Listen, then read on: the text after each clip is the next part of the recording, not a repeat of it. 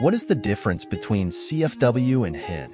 CFW, custom firmware, and HEN, homebrew enabler, are two different methods used to modify gaming consoles like the PlayStation 3, PS3. Here's a breakdown of the differences between the two.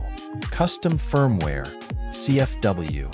CFW involves replacing the entire operating system, firmware, of the console with a custom version.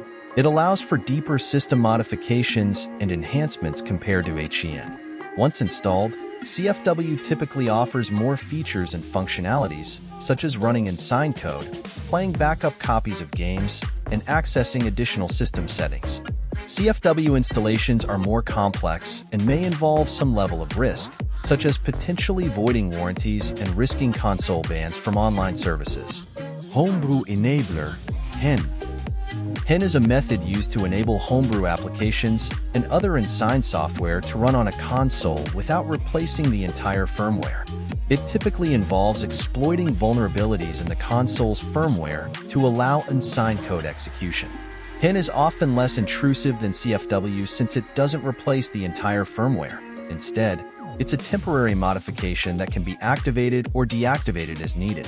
While HEN may offer some homebrew functionality and limited access to additional features, it's usually more limited compared to CFW. In summary, CFW provides a more extensive modification of the console's firmware, offering additional features and functionalities but carrying higher risks and complexities.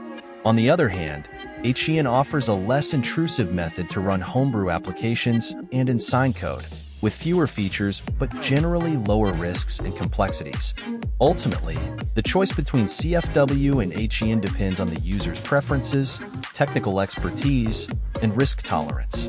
What's PS3 EvilNAT 4.9 1 CFW?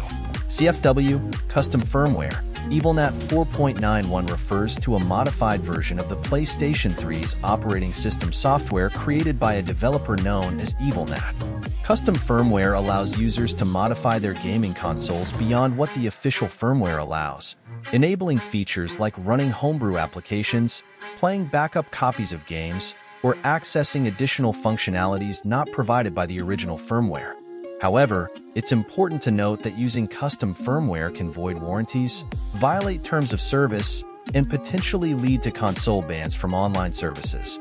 Additionally, installing custom firmware carries certain risks, including the possibility of damaging your console if not done correctly. In which PS3 can I install CFW?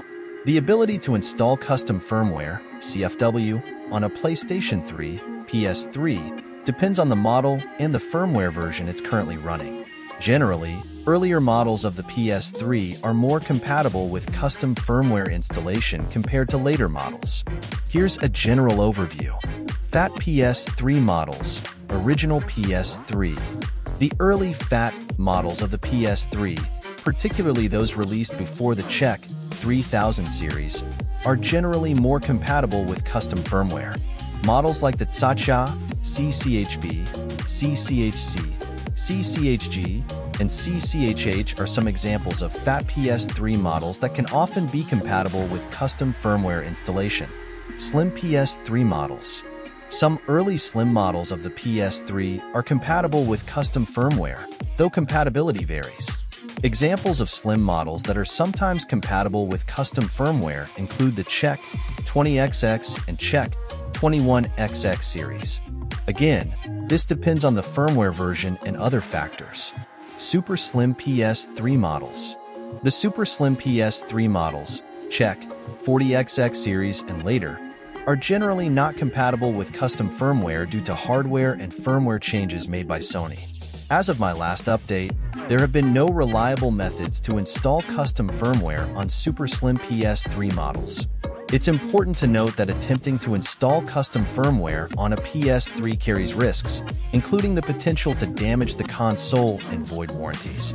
Additionally, installing custom firmware may violate the terms of service of Sony and could lead to consequences such as being banned from online services. Before attempting to install custom firmware, it's essential to thoroughly research compatibility, methods, and associated risks. Websites and forums dedicated to PS3 homebrew and hacking communities may provide more specific and up-to-date information on custom firmware installation for different PS3 models.